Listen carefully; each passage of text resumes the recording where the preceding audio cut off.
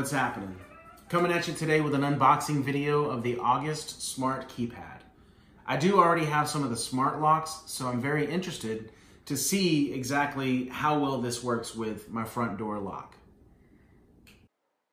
All right, so let's see what we have inside here. Using my handy dandy kitchen knife, we've got some filler packaging, a packing slip, and the August Smart Keypad. Go ahead, take this bad boy, let's open it up. Inside the keypad box itself, we've got some documentation. We've got a double-sided adhesive to be able to stick it to the door frame, and of course the keypad itself. Inside of the keypad, if you take the back panel off, you've got some batteries that come with it, so batteries are included. And then we've got some screws and anchors to be able to really secure and mount this thing to the door. So let's go ahead and get started and do a quick install. Now let's take a look in the app here. Um, opening it up to set up and add the keypad to my system. Um, so I'll go ahead and just kind of show you the prompts here. We're going to breeze through it pretty quickly. It walks you through it pretty well. It's pretty easy to set up. So it sets up a generic code for you in the beginning.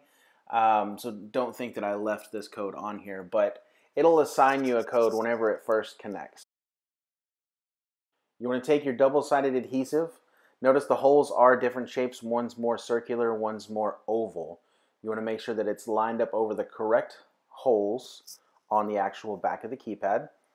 And then once you adhere it to the keypad itself, you want to take off the other side of the double-sided tape and you're going to position that onto your door frame or wherever it is that you want it near the lock. So I'm just going to go to the left of the door here and slightly above where the deadbolt is. Press it on, make sure it's sticking real good.